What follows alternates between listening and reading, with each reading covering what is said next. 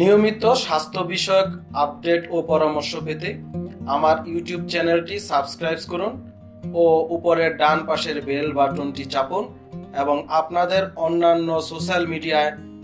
এই ভিডিওটি শেয়ার করুন